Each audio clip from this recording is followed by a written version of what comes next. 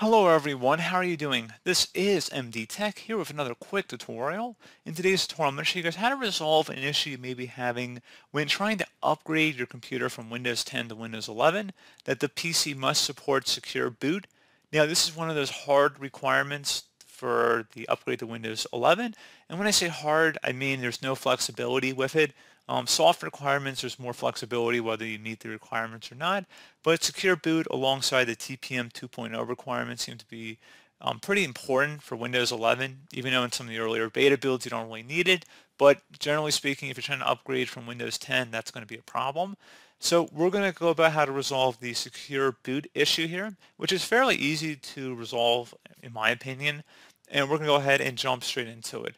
So we're going to start off by actually making sure we have a backup of everything on our computer because this is going to do a clean factory install of Windows 11 here because we're going to actually have to convert our drive unless you have a secondary drive on your computer in which case sure you can do it on that drive but be better safe than sorry.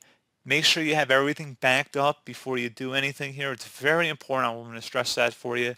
So make sure you have it backed up to some external flash drive the cloud somewhere that's not on your computer so anyway, we're going to go ahead and restart our system. This will look the same for Windows 10 as well. So just would right click on the start button, select shutdown or sign out, and then hold down the shift key and select restart. Again, shift key and then restart your computer. This will look identical on Windows 10. So do not worry that I started in Windows 11 here. It's fine. Besides a couple graphical differences, it should be the exact same command, same exact process that we followed um, if I was on a Windows 10 computer. So anyway, we're going to go ahead and select Troubleshoot, Reset Your PC, or see Advanced Options. And now we are going to go ahead and select the Advanced Options button. So go ahead and left click on that. And now we're going to go ahead and select where it says Command Prompt because we're going to be going into the command prompt for today's tutorial and that's where we're going to be doing our conversion.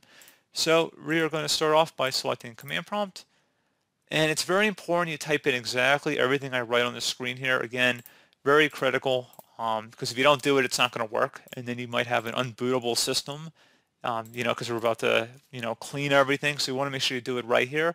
Worst case scenario, you can always reinstall Windows 10, but, you know, let's save a step there unnecessarily and just let's do it right the first time.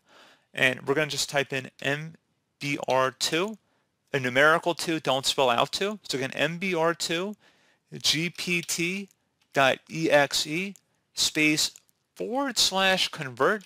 Again, exactly how you see it on my screen here. So again, MBR2 gpt.exe space forward slash convert. I will have this zoomed in on the screen as well so you can see it a little bit better. Hit enter on the keyboard. So it should say the MBR2GP will now attempt to convert the default boot disk if conversion is successful, the disk can only be booted in GPT mode. These changes cannot be undone. Now that we've done this, we're not finished yet because we still have to change it to the UEFI model. So close out of here, and you're going to go turn off your PC, and then you're going to go into your boot menu, so your BIOS. So select your BIOS key when your computer is booting up. You can look that up for your specific computer make and model. Generally, it's either the escape key, F2, F8, and F12, those are the most common keys I've seen. So again, it'd only be one of those. But again, if you had to just completely guess, it would be one of those four or five I mentioned. But you can look that up on your own end. I'm assuming you're doing that before you're actually following along with this tutorial blindly. But pretty straightforward. Go ahead and look that up. We're going to go turn off our computer, and then I'm going to go get to my boot menu, and I'm going to come right back. Okay, so I'm going to go ahead and enter into my setup. So just go ahead and hit enter. And then if you've never been in the BIOS before, use your arrow keys left and right to go navigate between the settings here. So we're first going to start by heading over to the boot tab. And then you want to select boot mode. Now I don't have one in my case since I'm in a virtual environment because it's a little bit weird here. You would select boot mode and then you would change it to UEFI. Again, you would change it to UEFI mode. So you would change that. Again, it would be under the boot tab here. And then you go to the security tab and then you navigate down to secure boot and you would change that to enabled. So you would see that on your system. I'm in a virtual environment here. That's why uh, I don't have all these settings and my computer doesn't even have secure boot, but I'm just saying that that's how you would go about doing it. So again, you go to the boot tab first, change boot mode from legacy support to UEFI, and then you go over to the security tab and you would turn on secure boot. And then you just tap the F10 key to save and exit. Save configuration changes and exit now. Tap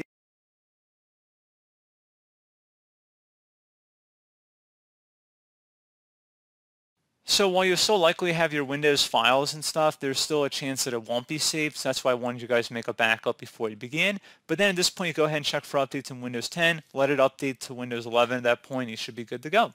So pretty straightforward process. Do I was able to help you out, and I do look forward to catching you all in the next tutorial. Goodbye.